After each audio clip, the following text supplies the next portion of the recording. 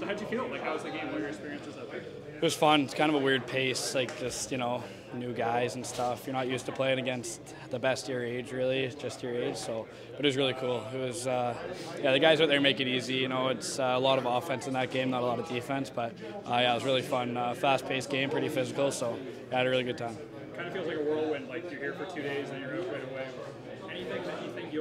Like any memories sticking out the last couple days? Yeah, I think just you know everyone, everyone kind of having those same nerves, and everyone just so ready for the game. It was kind of cool. Like everyone's in the same boat here. Everyone's feeling those same same nerves that you might feel in a game like this. But uh, I think just sharing out with the guys and meeting new guys. Like I got every time we uh, do like a little event like this, whether it be a tournament or a game, you meet a bunch of new people, and it's uh, it's always a great time getting to know some guys, playing with new players. So I think just the guys I play with uh, will be something I remember.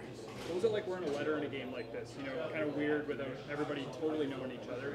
Leadership quality still coming through from you in the room? Yeah, I think it's just natural. I talk a lot on the bench and stuff, so I think that's just kind of second nature. I don't really need to force anything uh, into my game or try anything new. It's just, yeah, a lot of that's just kind of the way I play and uh, the, my personality. So, uh, yeah, it was it was good. And it, was, it was fun. It was an honor to wear the letter. It was kind of cool, uh, uh, really. So yeah, no, it was nice. Not too hard fast-paced, physical, but you know the physicality kind of catch you off guard a little bit.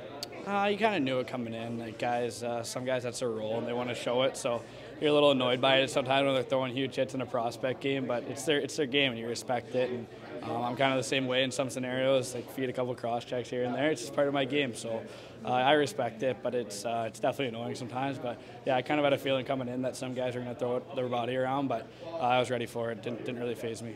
Impressed impressed with the goalies. Like you know, it was a game where you're everybody's hyping the offense, and in the end, like the goalies kind of stole the show tonight. Yeah, well, I, have had the chance to play with a couple of those goalies before and play against uh, one of them as well. Um, and it's just, yeah, that was incredible. Looking at the shot clock, we had 45 shots. There's something like 80 shots combined. Like that's ridiculous. You don't really see that in many games. So uh, for the score to be pretty low scoring for the most part. Uh, it was really cool and, and kind of cool to watch because you don't see that very often. Yeah, especially with the high level of uh, talent that's on that ice offensively. So, uh, yeah, I mean, I think they were good defense in that game too, but the offense definitely took over and it was uh, less of a structured game and kind of let the goalies take care of it, and they did. So, yeah, it was cool to watch.